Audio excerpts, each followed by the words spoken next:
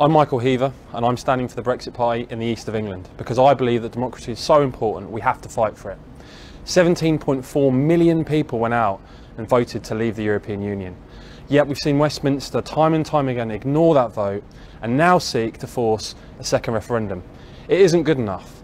I believe in this country, I believe in democracy, I believe in Brexit, and I believe that the Brexit Party must now step forward and defend democracy for the British people. Together, we can continue to fight for the political revolution and the better future that we can all have and share in by leaving the European Union and once again becoming a self-governing, independent, proud nation.